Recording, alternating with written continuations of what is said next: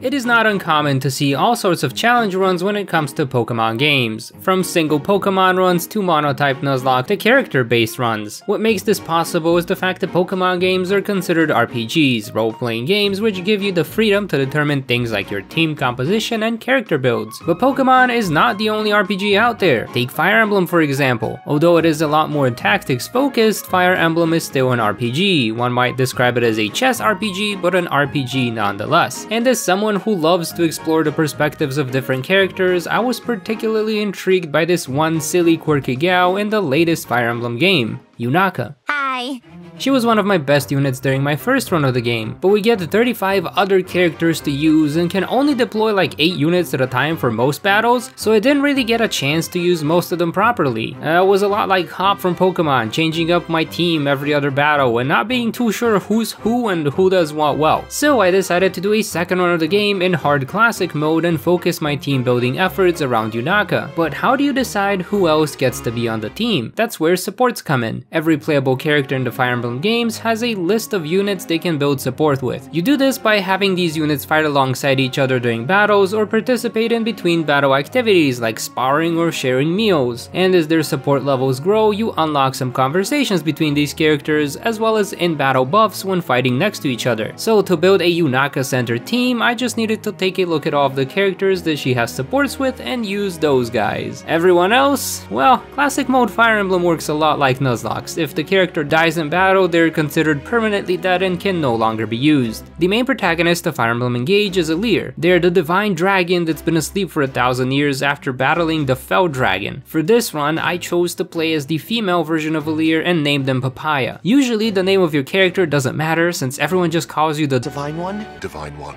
Divine One. But if I name myself Papaya, then the most important character of this run can greet me by my real name. Hiya Papaya! The start of this game is pretty simple. It introduces the core mechanics mechanics of battle. Each turn you move off your units, then the enemy gets to move off their units, and you keep this up until you defeat all the enemies, their general, or reach the exit to the map. Different units have different weapons, and engage works on a similar rock-paper principle as Pokemon. Swords break axes, axes break lances, and lances break swords. by break I mean that you literally make the opponent drop their weapon, that way they cannot counterattack you. Otherwise the unit you are attacking gets the opportunity to hit you back as long as you're in range of their weapon. Mm. and it works the same way if you're being attacked. The other important battle mechanic in this game is the engage rings, which work somewhat like Dynamaxing mixed with Z moves. The equipping character gains different buffs and abilities depending on the ring they wear, and they can enter an engage state which gives them additional weapons to use in combat, as well as an ultimate move that can be used once per engagement. An engagement only lasts 3 turns because, well, it's not you, it's them. Our first major battle begins after Papaya wakes up from a dream where they look very evil and are burning the whole place down, only to realize that someone has broken into the castle and is burning the whole place down. So you rush towards the ring room where your mom, Lumera, keeps five other engage rings and of course, a bunch of bad guys are blocking your way. Way too many for you and your three stewards to handle. Good thing the game decides to randomly throw in three extra characters, Alfred, the Crown Prince of Firene; Etie, the buffest bow user in history, and Boucheron, who does not have any supports with Yunaka. We also managed to ditch Clanne, one of the three stewards during this battle. The only downside being being the Clanne was our only mage unit and we don't have anyone else who can do a lot of damage to heavily armored generals. But then remember that Papaya has Marth's engagement ring and Marth lets you use the rapier. I'm not sure how to pronounce it, I'll just call it rapier. At least I'm gonna know I'm wrong 100% of the time, you know? The rapier, which is super effective against armored units. With the enemies out of the way, we enter the ring chamber only to find a shadowy figure who has stolen all of the rings and then tries to turbo murder us. But Lumera comes to the rescue and her dragon form and shoos away this intruder, then dies. Can't have a Fire Emblem game if the main protagonist's parent doesn't die. One of our living stewards did try to heal her but fails, so we have to say our tragic goodbyes to this character that we've only met and have no emotional attachment to other than she kinda cute though. On the bright side, we now have another emblem ring, Sigurd. Oh, and the thief also dropped this little decoration that gives us the power to reverse time and undo actions during battle. Seems like a fair trade. Alfred also finally explains why he suddenly showed showed up to the castle and that's because his kingdom is being attacked and his mom sent him to fetch some help from Lumera. Uh-oh. Well, since Lumera is dead, we're the only divine dragon left that can land a helping hand here. On our way to Firene Castle, we have to go through Flora Mill Town, which has been attacked by a bunch of corrupted. We also find Céline, Alfred's sister who escaped from Firene Castle along with their emblem ring, Celica, as well as her two retainers, Louis and Chloe. The bad news is that neither Céline nor Chloe have supports with Yunaka, so...